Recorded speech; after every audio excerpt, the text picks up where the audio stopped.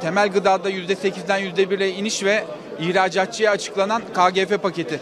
Bütününe baktığımız zaman nasıl değerlendiriyorsunuz? Tabii bu açıklanan paketlerin hepsinin enflasyonla mücadelede çok büyük etkisi olacak. Özellikle KDV'de e, tüketim harcamalarında bire indirilmesi çok büyük bir e, müjde. Herkese hayırlı olsun.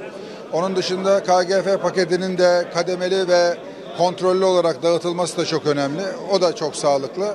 Altınla ilgili konuya geldiği zaman zaten bunu biz her zaman e, yastık altındaki altının sektöre ka- kazandırılması ile ilgili destek veriyoruz. E, umarım Mart ayından itibaren bunun faydalarını görmeye başlayacağız. Altınla ilgili açıklanan paket sizi tatmin etti mi? Şöyle söyleyeyim yavaş yavaş sisteme girecek bir şey. Hemen e, hızlıca bunu göremeyiz.